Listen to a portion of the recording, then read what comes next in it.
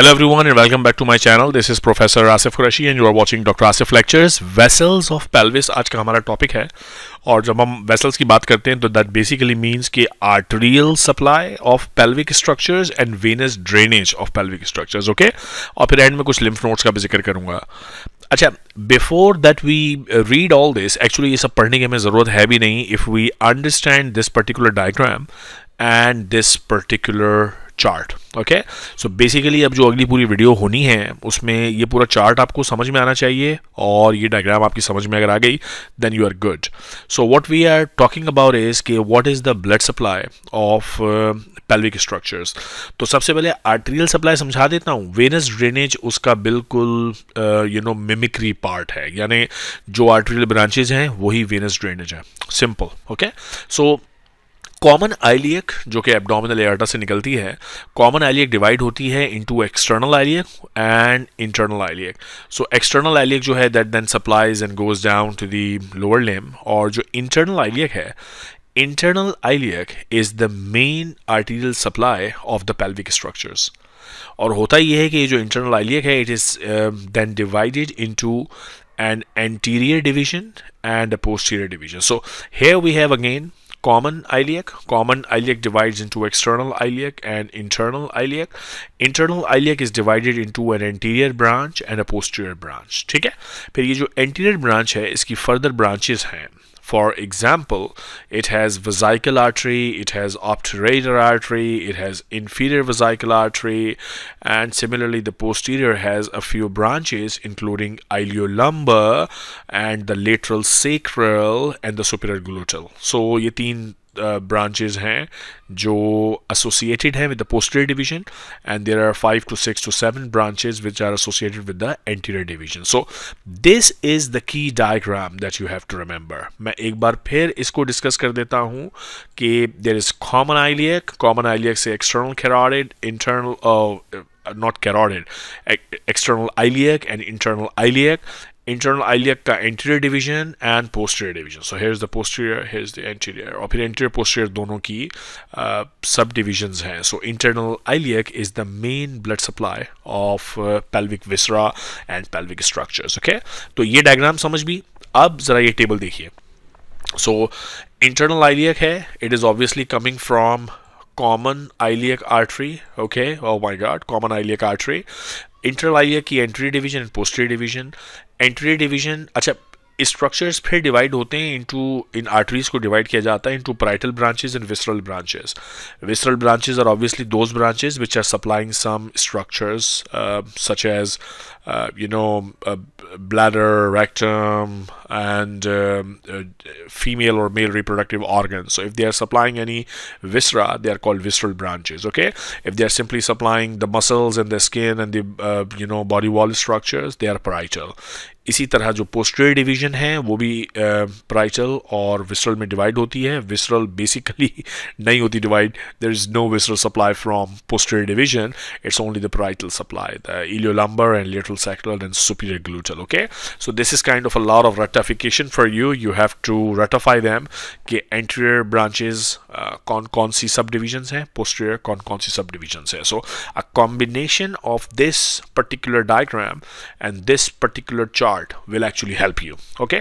अब इस इस context में आप पढ़ सकते हैं कि what we have to read about इसमें से बहुत सारी डिटेल्स हैं जो अननेसेसरी होंगी मैं उसको कट आउट कर दूँगा। लेकिन जो अभी बात समझाई है जो डायग्राम दिखाई है और जो टेबल दिखाया है उसके कॉन्टेक्स्ट में रीडिंग करते हैं। आइए। The internal iliac artery is the smaller terminal branch of the common iliac artery दूसरी कौन सी है? External iliac The internal iliac is 3.5 centimeter long. It supplies pelvic organs, except superior rectal, um, ovarian and median sacral arteries. It also supplies perineum. It supplies greater part of the gluteal region. It also supplies the iliac fossa. Uh, this is too much detail. We don't want to remember this.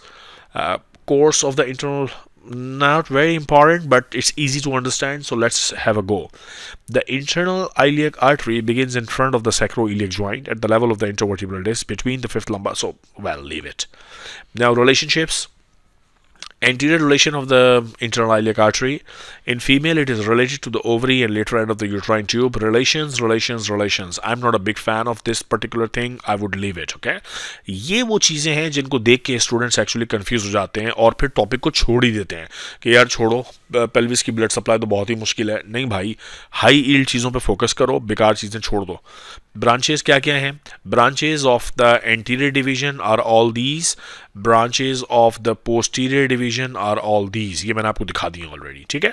अब यहाँ उन branches की further detail दी है कौन किसको कैसे supply करता है। अगेन uh, वो सब डिटेल्स छोड़ देना कि आर्टरी कहाँ से निकली, उसके नीचे चली गई मिडिल चली गई लेटर चली गई। भाई लीव दैट ओके सिर्फ़ इतना समझ लो कि जो इन्फीरियर ग्लूटल है, वो किसको सप्लाई करती है, आपको ये पता होना चाहिए। It supplies buttock and back of the thigh that supplies for you inferior gluteal की रीजन आपको पता होने चाहिए, ठीक है? फिर इसी तरह किसको परफोरेट किया, क्या क्या, उसको सब भूल जाओ। नॉट इंपॉर्टेंट ऑपरेटर आर्टरी इसी तरह है ऑपरेटर आर्टरी किस चीज़ को सप्लाई करती है वो आपको पता होना चाहिए। It gives you know branches to iliac fossa structures and it gives urinary bladder को एक branch and it gives back of the pubis को ब्रांच तो आपको उसकी uh, कौन सी कहाँ से कौन सी डिवीज़न निकल रही है और किस ऑर्गन को सप्लाई कर रही है। So that's important for you okay इसी तरह सुपीरियर वेजाइकल आर्टरी है, कितनी लॉन्ग है, क्या है प्रोक्सिमल कितना, भाई this is not important but what's important is it supplies urinary bladder middle rectal जो है, ये किस पार्ट ऑफ़ रेक्टम को सप्लाई करती है, वो आपको पता होना चाहिए। So read the name remember the part it supplies read the name remember the part it supplies read the name remember the part it supplies that's all okay तो तमाम आर्टरीज के लिए ये एक्सरसाइज आपने करनी है। फिर जो वेन्स हैं vein kind of similar pattern है, सिवाय एक वेन के, वो भी मैं आपको बताता हूँ। Internal iliac vein ascends posteromedial to the internal iliac artery and joins external iliac vein to form the common iliac vein at the pelvic brim. Its tributaries correspond with the branches of the artery except for the iliolumbar vein which joins directly to the common iliac vein. बस ये एक exception याद रखनी है बाकी जो arteries के नाम थे वही सब इसके नाम भी हैं ठीक है Now the lymph nodes. Now दो तीन तरह के group of lymph nodes हैं. Uh, first one is there are common iliac lymph nodes. Artery के हिसाब से कॉमन आइलियक आर्टरी थी एक्सटर्नल आइलियक आर्टरी थी और फिर इंटरनल आइलियक आर्टरी थी। ऐसा ही था ना? तो इसी तरह जो कॉमन आइलियक के इर्द गिर्द नोड्स हैं फोर टू सिक्स उनका नाम है common iliac lymph nodes they receive lymphatics from the external and internal iliac lymph nodes and send their efferents to the lateral aortic node यानी ये स्ट्रक्चर अगर है कॉमन इलियक और common iliac के बाद एक्सटर्नल इलियक एक branch है और इंटरनल इलियक एक ब्रांच है सपोज़ ठीक है? तो ये एक्सटर्नल इलियक और इंटरनल इलियक की जो नोड्स हैं एक्सटर्नल इलियक के नोड्स और इंटरनल इलियक के नोड्स ये ड्रेन करेंगे कॉमन इलियक के नोड्स में और ये फिर ड्रेन करेंगे further into the lateral aortic nodes ठीक है? तो चार से छः कॉमन इलियक नोड्स हैं, आठ से दस एक्सटर्नल इलियक नोड्स हैं which drain from infraumbilical part of the anterior abdominal wall and all these tributaries are written here internal iliac nodes जो हैं, वो basically deeper parts of the perineum and pelvic viscera so internal her artery के साथ जो internal यानी अगर मैं ये डायग्राम आपको दिखाऊँ दोबारा से दिस पर्टिकुलर डायग्राम है सो ये कॉमन आइलियक है। कॉमन आइलियक में सपोज़ यहाँ पे कुछ नोड्स हैं। एक्सटर्नल आइलियक के साथ कुछ नोड्स हैं और इंटरनल आइलियक के साथ कुछ नोड्स हैं। तो पेल्विस पेरिनियम का लिम्फ ड्रेन होगा यहाँ से कॉमन आइलियक में और लोअर लिम और lower part of the abdominal wall वो लिम्फ नोड ड्रेन होगा, वो भी कॉमन आइलियक में और कॉमन आइलियक से फिर ड्रेन हो जाएगा लेटरल एऑर्टिक लिम्फ नोड्स में। तो ये लिम्फ फ्लो है।